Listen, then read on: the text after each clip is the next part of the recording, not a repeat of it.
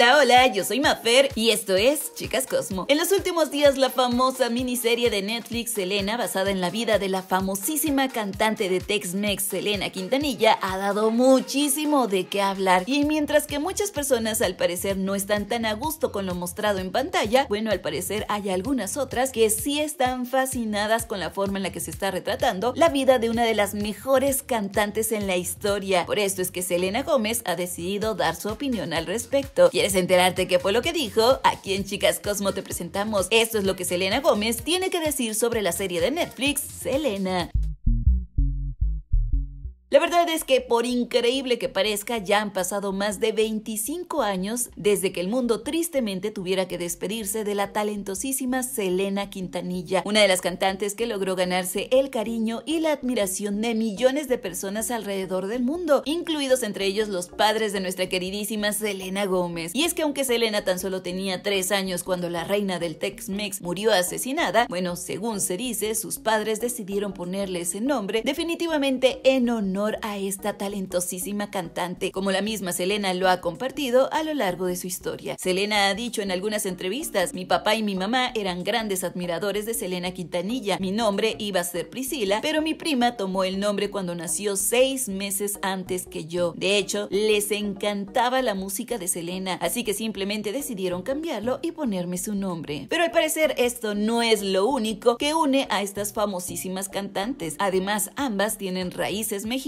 y por si no fuera suficiente, las dos, además de ser súper talentosas, nacieron en Texas. Con todo esto en común, pues no resulta difícil entender por qué es que Selena Gómez ha querido hablar sobre la nueva serie que Netflix ha lanzado acerca de la vida y sobre todo la infancia y los primeros años de la fallecida intérprete. Bastante emocionada, Cell tomó sus redes sociales para hablar al respecto y al menos dar su opinión sobre cómo le han parecido los primeros capítulos de esta serie. Al respecto, Cell comentó, ella es toda una inspiración. Me pusieron su nombre por ella y es increíble. Además, por si esto no fuera suficiente, Selena también nos hizo alguna que otra revelación, como por ejemplo que en este momento se encuentra en el set de grabación, lo cual al parecer está disfrutando demasiado ya que dijo que es muy pero muy divertido. Aún así y con tanto trabajo, Selena se está dando el tiempo no solamente de comunicarse con sus fans, sino incluso de ver la serie, como ella misma lo dijo cuando dijo, aproveché para registrarme y saludar, y es que he estado viendo la serie de Selena en Netflix y es muy buena. Bueno, para aquellos que no hayan tenido la oportunidad de disfrutar de esta especie de drama de la vida real, bueno, resulta que en esta adaptación de Netflix, a diferencia de la película de 1997, protagonizada por Jennifer López, interpretando precisamente uno de los papeles más icónicos de su carrera, bueno, en la serie podemos ver una historia que según asegura Netflix es mucho más auténtica a lo que realmente vivió la reina del Tex-Mex, mostrando algunos de los momentos más emblemáticos de su vida. La serie también pone énfasis en el funcionamiento interno de la familia Quintanilla y todas las carencias y los problemas que vivieron durante la infancia y adolescencia de esta cantante. Sin embargo, aunque Selena Gómez haya asegurado que la serie es muy buena y aunque a muchas personas hayan disfrutado de este show, definitivamente no podemos dejar de lado a todas aquellas personas que no están de acuerdo con lo que vieron en pantalla. Mucha gente asegura que la serie no debió de haberse llamado Selena, sino más bien